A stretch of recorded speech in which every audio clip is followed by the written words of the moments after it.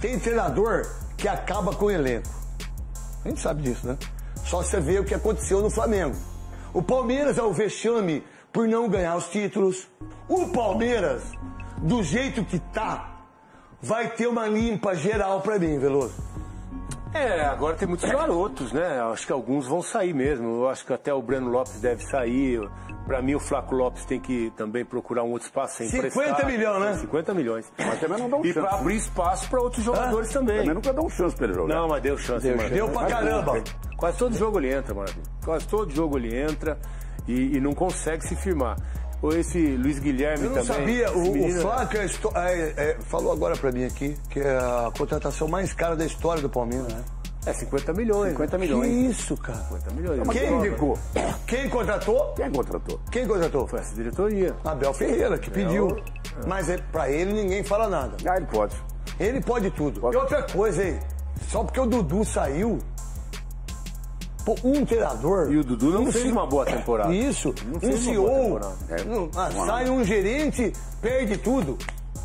Eu quero ver um, Um bom Palmeiras, agora. porque o Dudu saiu, o Palmeiras, ele, ele é o responsável pro Palmeiras não ganhar a Libertadores. Soberba.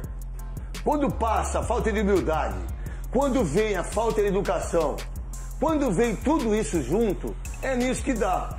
Que por sinal, o Palmeiras não é que jogou mal só esse jogo. O Abel Ferreira não ganha jogo.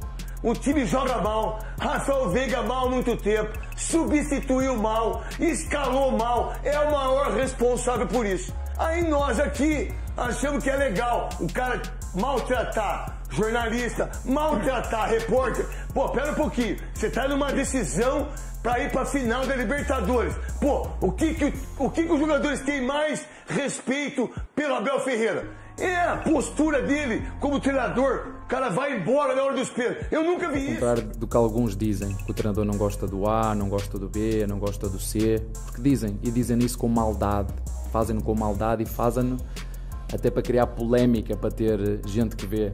Eu não me revejo nesse tipo de, de jornalismo, eu não me revejo. Mas também não vou dar tempo de antena. Ouço e fico, gosto de ouvir, hum, tenho cabeça fria e coração humilde. Hum, eu perdoo todo mundo, mas eu não esqueço. Eu perdoo tudo, mas não esqueço. E o Breno é um, como te disse ao teu colega há pouco, é um é dos jogadores, é o único, o único jogador que pode reclamar disso. Dizer, o treinador não teve os mesmos olhos comigo do que teve se calhar com outros aqui dentro. É o único. E eu sei disso. E já o disse isso a ele, digo isso aos meus jogadores. E por isso é que o meti. Fui buscá-lo outra vez, resgatá-lo, mas é tudo o mérito dele. Mais fácil crucificar ou arranjar um culpado como um jogador, parece que matou alguém, parece que fez um crime ou assaltou alguém. E no futebol tudo se transforma em uma coisa é, é inacreditável. Assim fôssemos tão rigorosos e exigentes nas outras áreas da sociedade brasileira, seríamos muito melhores. Mas infelizmente o futebol é como é, não sou eu que o vou mudar.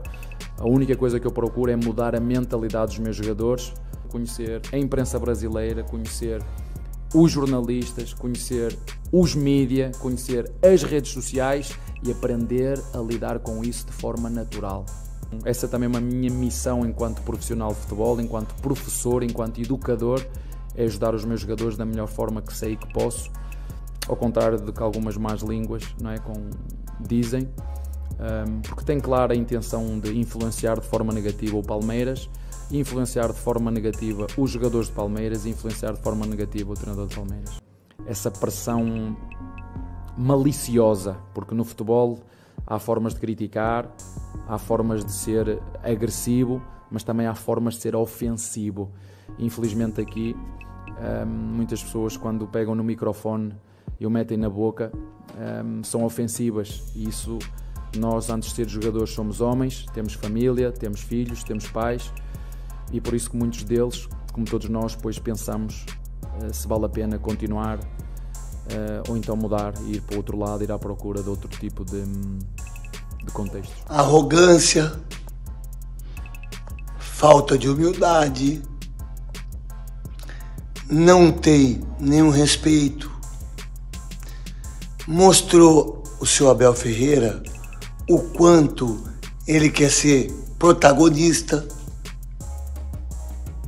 Não colocar o Hendrick para jogar como titular e ficar com os dois laterais e tomar o gol do Cavani em cima dos dois laterais que não estavam marcando e aí o Gustavo Gomes tem que fazer a jogada e falhou também.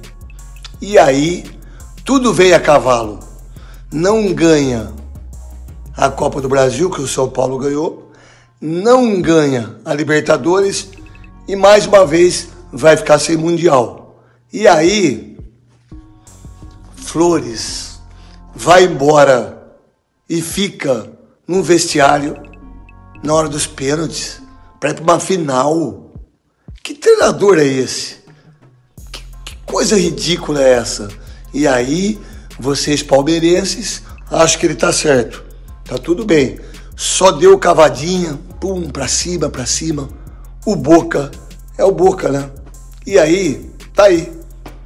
Não vão ter mundial.